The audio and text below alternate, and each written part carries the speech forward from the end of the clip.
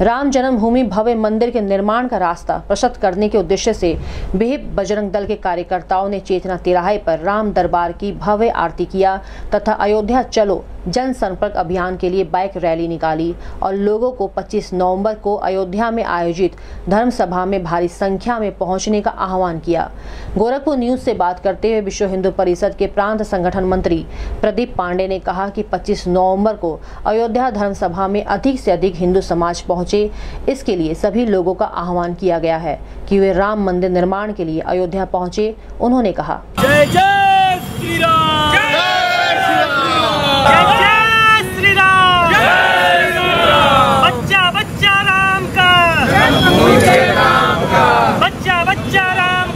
जन्मभूमि के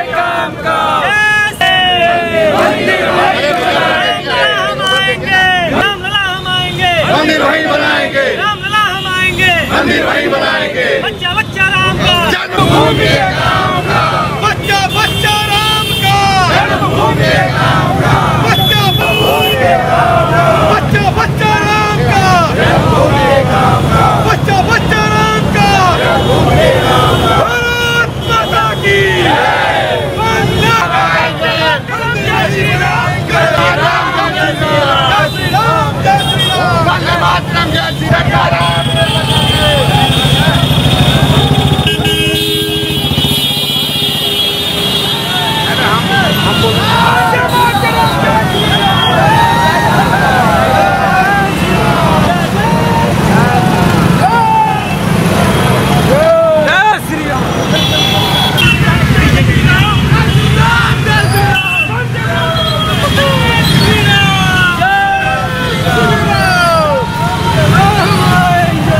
इस रैली का उद्देश्य जन जागरण है। अयोध्या में जहाँ राम की जन्मभूमि है, हमारे भगवान मर्यादा पुरुषोत्तम भगवान राम के जन्मभूमि पर भव्य मंदिर का निर्माण हो और उस मंदिर निर्माण में आने वाली बाधाएँ दूर हों,